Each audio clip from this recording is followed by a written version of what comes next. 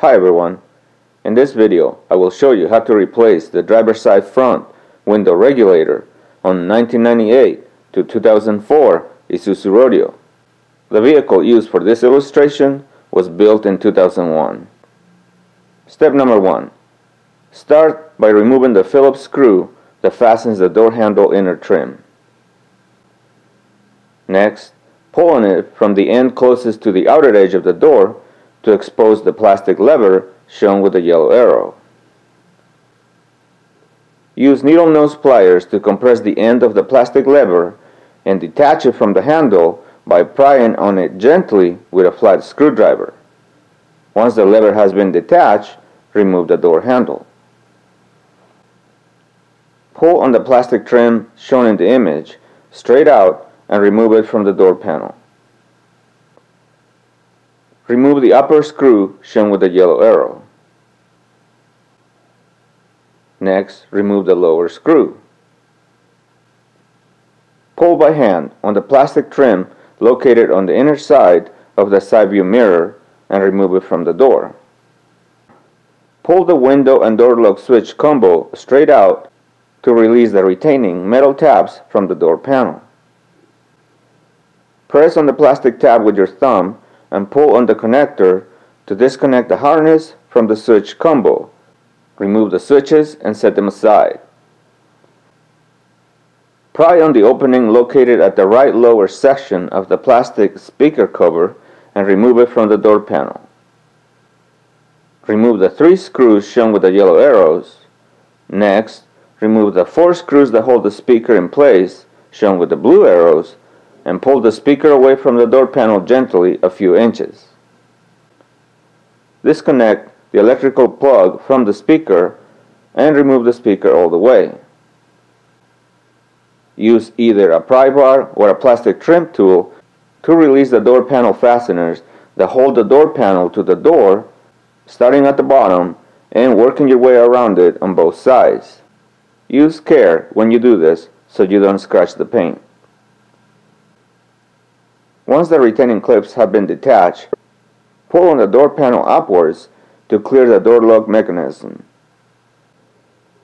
Disconnect the tweeter speaker electrical connector shown in the image.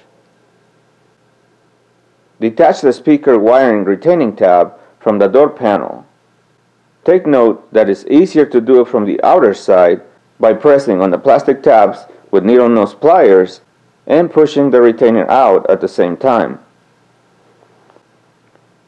Disconnect the dome light electrical connector and remove the door panel all the way. Pull on the plastic shield with your hand to expose the window regulator retaining bolts. Detach the window regulator wiring retaining tab from the door by pressing on the plastic tabs with needle nose pliers and pushing it in at the same time. Next, disconnect the electrical connector from the window regulator. Remove the two upper bolts that fasten the window motor shown in the image.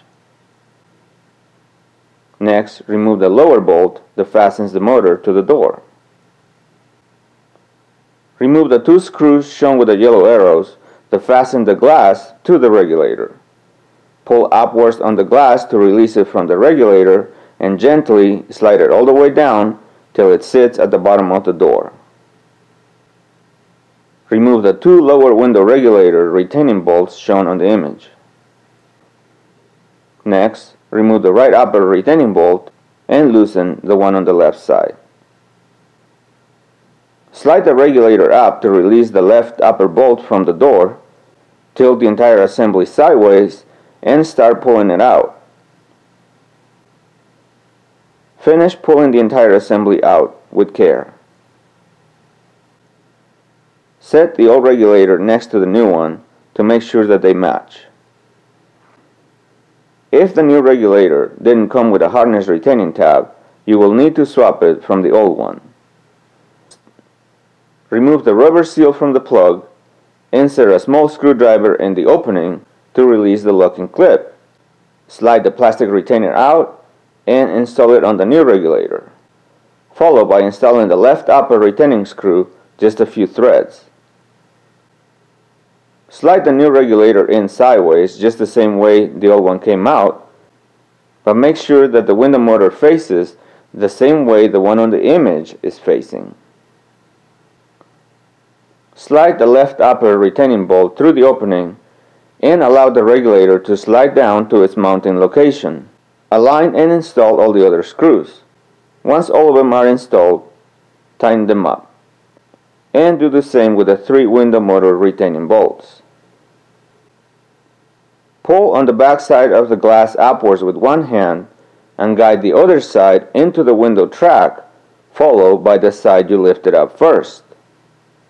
Next, guide the glass into the window regulator bracket, install the two retaining bolts, and tighten them up. Connect the window motor electrical plug and fasten the plastic harness. Temporarily plug the window switch to the vehicle's harness, turn the ignition key on, and roll the window up and down to make sure that it slides correctly on the window tracks and nothing binds.